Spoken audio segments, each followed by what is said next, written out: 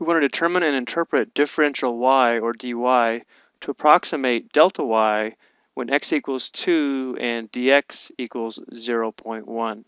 Differential y measures the change in y on the tangent line, and delta y would be the change in y of the function.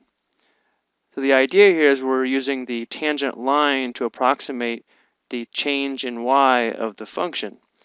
So before we do this, let's look at it graphically. So here's the function, and here's the tangent line at x equals 2. What I want to do now is zoom in on this region in here so we get a better idea of what we're doing geometrically. So we're starting at an x value of 2, and we're told that differential x, which is the same as delta x, is equal to 0.1, which means x is changing from 2 to 2.1. And with this change, we want to use differential y to approximate the change in y of the function. So looking at our sketch here, again, delta x is equal to dx. The change in x for the function and the tangent line are the same.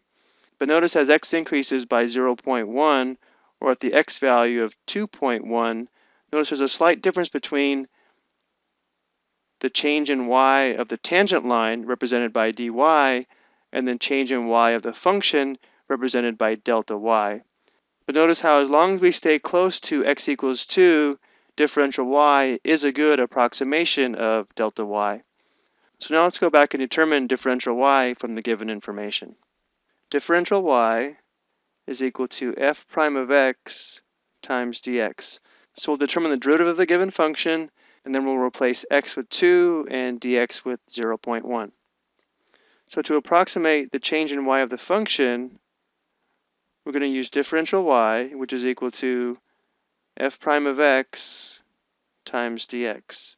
So differential y is going to be equal to 8x cubed minus 14x plus 4 times dx.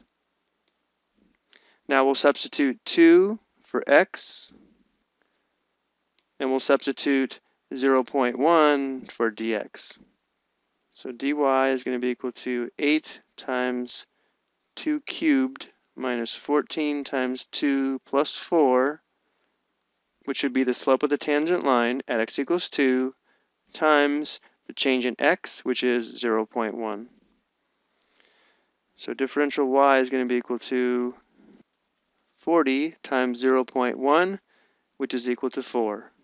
So this tells us that delta y, the change in y of the function, is approximately equal to differential y, which is equal to 4 when x is equal to 2 and the change of x or differential x is 0.1.